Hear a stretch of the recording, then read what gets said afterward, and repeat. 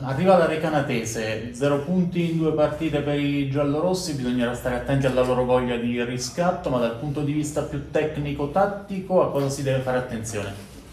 Fare attenzione che la Recanatese è una buonissima squadra, è vero che ha perso le prime due, ma secondo me immeritatamente tutte e due. Ho visto una buona squadra, una squadra viva, eh, la conosco bene, perciò conosco anche molti giocatori, perciò noi però dobbiamo pensare a noi e dobbiamo seguitare la crescita che la squadra sta facendo, sta lavorando molto bene, con grande voglia, grande entusiasmo e io mi preoccupo più della mia squadra che degli altri.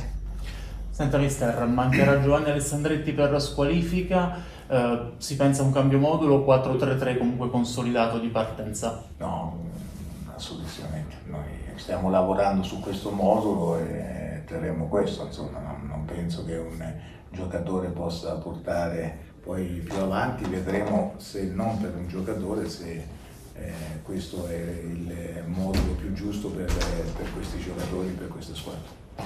Tutti disponibili per domenica, stavo dicendo per domani. Sì, sì, tutti disponibili, meno Alessandretti eh, e gli infortunati, insomma, storici. E mancherà Melchiorri alla Recanatese, però ritornano Marcheggiani e Sbaffo. E dove sta la difficoltà? È meglio che non gioca eh, Melchiorri o il ritorno di questi due giocatori?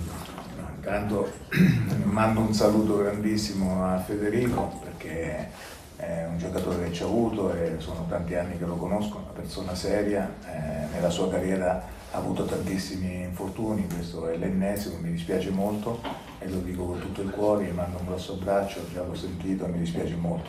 Poi, ripeto, eh, ogni squadra ha giocatori forti, Alessandro lo conosco bene, è un giocatore fortissimo per la categoria, eh, però eh, io la, la mia, eh, la, la, la mia eh, idea è quella sempre di lavorare sui miei, io sono concentrato su quello, sulla squadra da mandare in campo e della, della sua idea di calcio, non altro eh, rispetto agli altri e soprattutto molti li stimo, però questo non, non, non, non, fa cambiare la mia idea e soprattutto stimo anche molto il mio gruppo e i miei giocatori che è la cosa fondamentale.